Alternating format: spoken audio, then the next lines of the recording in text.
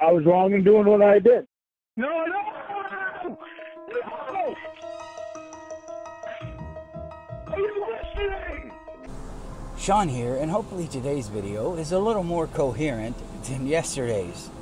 Let's talk about Lorne and money. He has the weirdest relationship with money. Now, first off, if you're new to the Lornography community and you've unfortunately discovered me, welcome. There are plenty of other creators out there you can check out. Just look up his name, obviously, or look up Lorneography. Or if you want to see the entire thing, look up TCAP Bowling Green. Or you can look up the word CAWD, C A W D, and prepare to be amazed and astounded. To misquote the great James T. Kirk, out of all the souls I've met, he was the least human. Ah, yes. So let's talk about Lorne and money. Now, when Lorne got out of prison, whatever money he had was gone. Whatever chance he had, prospect he had, gone. He had nothing. He came home and was living off his mom. There's nothing wrong with that if you're in a bad spot.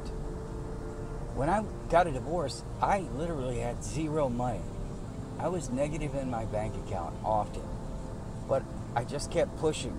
I kept figuring out a way to dig out, and I did. When I got out of the Marine Corps, I moved in with my mom for two months. I paid rent to my mom. I helped her pay the utilities, my mom and dad. They had a split level home. Wasn't like fancy, but it was well enough where I could live downstairs. Got a job, moved the hell out. That was it. I never lived with them again.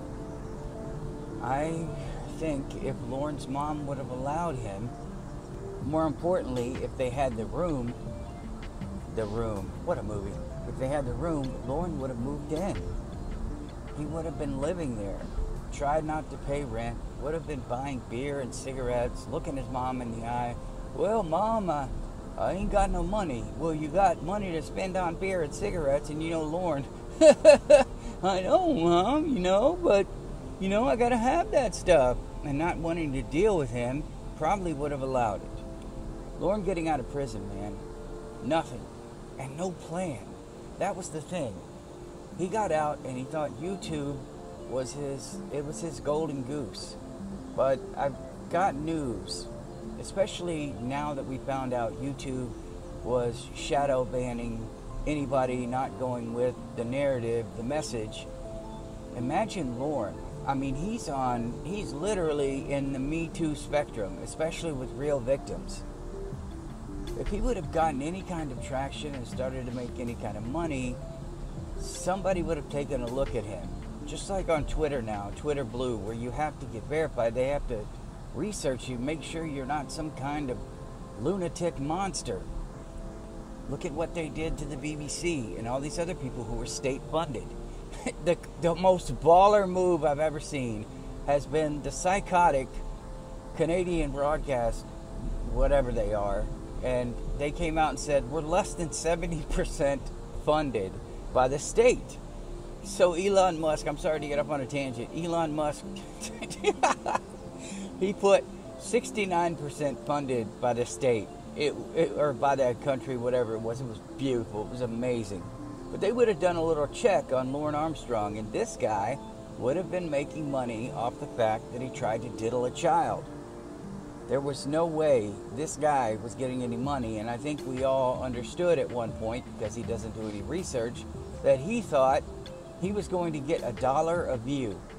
Now, that little tidbit of information is not something I would have personally hung my hat on, but Lorne hung his hat on that. He was certain that was I need to do as he told the judge when Shins and Andrew went to watch his trial. I need to do my cooking show. I wanted got on the internet and YouTube and they were just like, dude, anybody with any sense would go and look at your channel and read the comments and go, holy shit. This guy needs to be as far away from the internet as possible. Watching those videos, some of them look like POW the one video that Lorne made that's on YouTube that I swear to God is when he goes, he looks like a serial killer and he's looking at the video, I love you, I love you. He looks like a POW in those shower videos, POW videos. Roy's right off screen, gun to his head, telling Lorne, "Now you better shower, boy. Yeah, nice and oh, that's gross. Oh my God. Maybe he was used to it because he was somebody's bitch in prison. I don't know. I'm certain they took his commissary. I mean, this is a guy who would have cried and curled up in a ball if they said, "Give me your stuff." If he was in a secured area, which I think we have all done our research and figured out he pretty much was the entire time then maybe he wouldn't have to worry about that. But every kid diddler I've ever heard about, if you want to listen to some stories, go to Jay Williams Live Life. He was in there. If you were a kid diddler, they were walking in, taking your TV. They weren't even asking, taking your TV, taking your commissary. I don't even think they would beat the shit out of you. They would just make your life a living hell. But that would have been Lorne's prison life, and I apologize for Twitter. It's been my main source of entertainment watching people get owned. It's just wonderful. Well, back to Lorne and how he got out and had nothing. Absolutely zero. So he possibly lives with his mom, whines, cries, complains until somebody, his mom probably said, Can somebody help me get him out of here? Can you imagine how stinky it was? How gross? His pubes all over the place and his lapping. He smells like three day old burnt ham and freaking cigarettes and beer hot ass breath. His mom probably said, Can you please help me get this son of a bitch out of the house? Oh, fucking Uncle Clay. Somebody said, Yes, I've got a trailer. He can move in. I don't even know if the person died, but somebody said there's a trailer available. Get that son of a bitch out in there. Because we're not talking about what happened before the sting. We're talking about what happened after.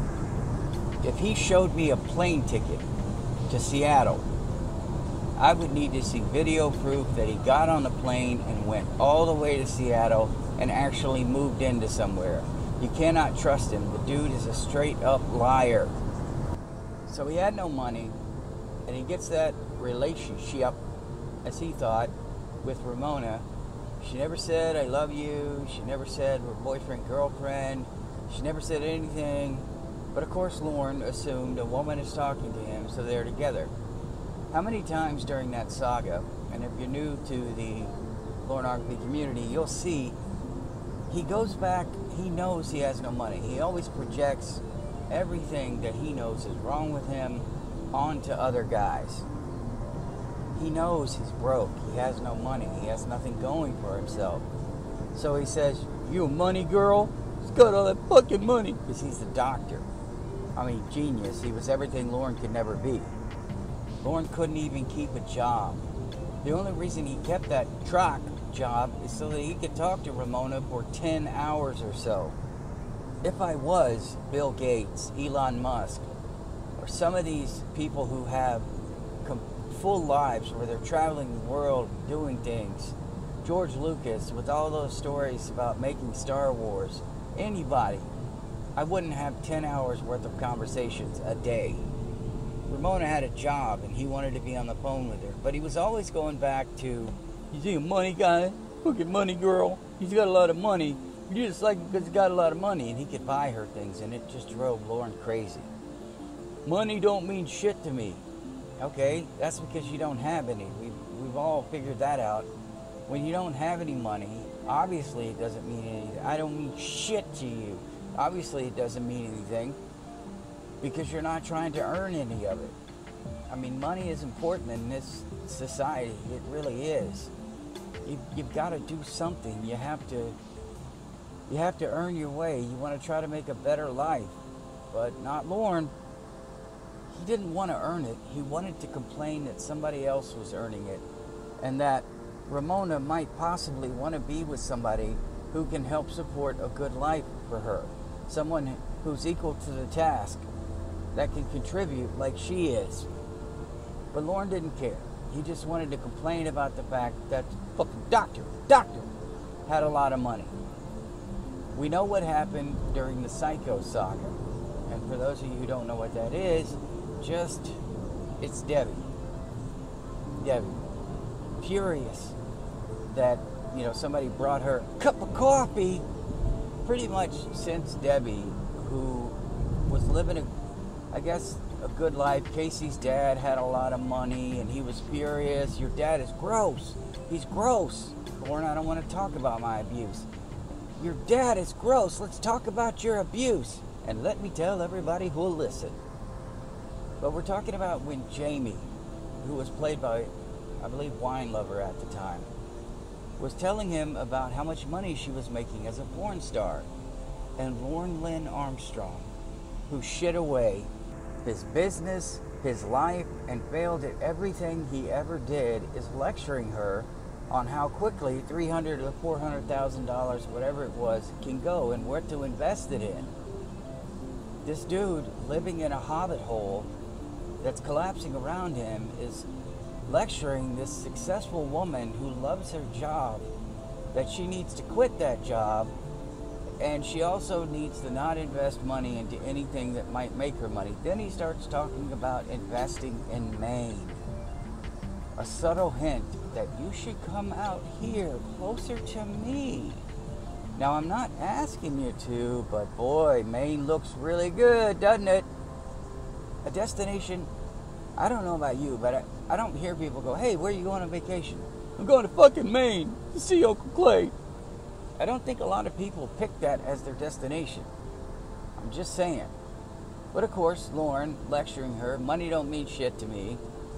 That money's going to go away. You're going to be broke like me. You'll see, because if I go broke, everybody else has to go broke because I know best.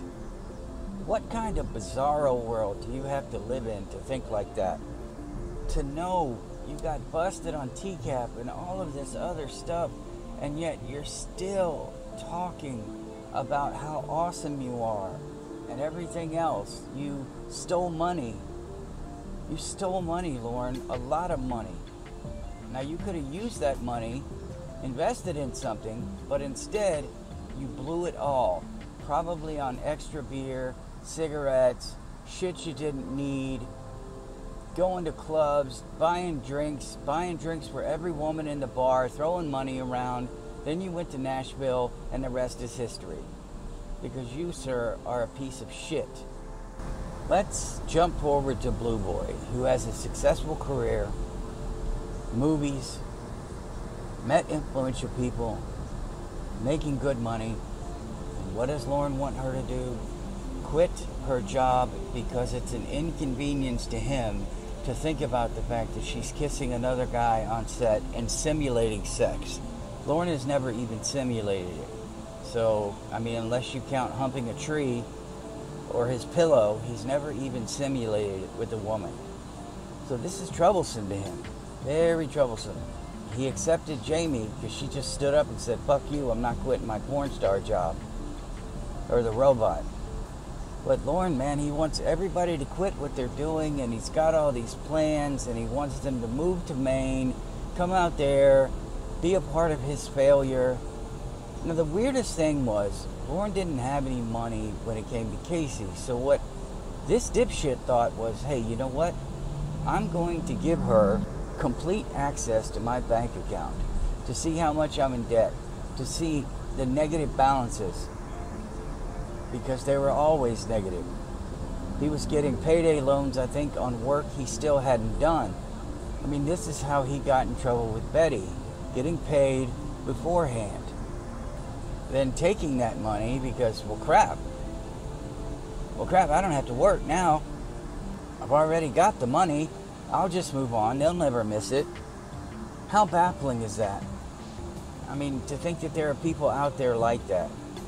Lorne Lynn Armstrong, the cream of the crop, the top, the man, giving this actress who actually walked in while he was getting busted, who was a part of the sting, part of the ruination of his life, and he thought that she had madly fallen in love with him when she walked in and saw him. So, what did he do? Again, he shared his epic failure with this woman who he's trying to impress and trying to say, Come out and live with me, or I'm going to come out and live with you. And I'm sure that Lorne thought, if I move out of the same state as my bank, that debt goes away. If I'm negative in my bank account, I don't want to go screaming that, to, especially to the people that matter. Casey shouldn't have mattered to him, but she did. Never met her in person, although I'm sure he convinced himself that it was really her. Well, technically, we did meet. You know, I trust you. I don't know how many times over the years he said, I trust you, but I want you to tell me the truth. I believe you, but I want you to tell me the truth. And then he pulls out a dinner ring for the robot slash Jamie. What I got here $5,000 dinner ring, which is, we all know, supposed to symbolize a woman's independence. But he gave her a, was going to give her a $5,000 dinner ring that he probably bought at an auction for $10. You know, then just how much can I make this sound? How much money did she mention before? Here's five grand. I took out a loan. I took out a $10 loan to get this some bitch. But he wants to give her a $5,000 dinner ring. A guy that money doesn't mean anything to. Didn't ask her what she wanted. Didn't care about her interest. Decided he was going to go out and buy her jewelry, which is more proof this motherfucker has never had a relationship. Because the worst thing you can do is give a woman what you want to give her instead of asking what it is that she wants. What's she interested in? What does she like? Learning all of this. One anniversary, I remember I gave the best gift ever. I have a distinct art style. And I did this tree with this art style and colored it in with gray. I mean, it took a while. But I gave it to her, had a quote on the bottom. And that was probably the best gift she ever received, according to her, because I put a lot of work in and I just did something I knew she would like. Lorne has never done that, which is why the $5,000 dinner ring came out when he probably could have gotten something much cheaper that would have meant a lot more to her. But this is a guy that doesn't know the value of money. He doesn't, he, he does never had any money, so when he gets it, he goes bonkers. Well, I remember the doctor gave her a $5,000, gave Ramona a $5,000 diamond ring. Now I'm going to buy this supposedly diamond ring that's worth $5,000 because $5,000 is the standard or $10,000 or whatever it is. He probably couldn't get that kind of, you know, $20 loan. I'm not saying that money is everything, but I am saying that when you don't know what it is, you don't know what is valuable and what is not. You don't know how much to spend. You don't know, you never had a relationship. You don't know how much money means to someone else and the fact that they don't talk about it all the time and the fact that what you value is not the same thing as they do. And that a woman doesn't want only money. They want secure they want to feel secure and they want to feel com- comfortable. They want to be ha- they just want to be happy. Make them laugh. Make them feel protected and secure. They can protect themselves but what i'm saying is they want to know that somebody else is there and it's going to be down to ride when the shit hits the fan. You're both going to be on the motorcycle. You're both going to ride into the storm. It's not just going to be her. And that's what I mean by protection. And Lorne, you can't offer any of that security. It would be a one sided relationship where she's feeling vulnerable all the time and knowing that the financial responsibility is going to be hers. So, Lorne and money, they just don't mix. I love you guys. I'll see you in the next one.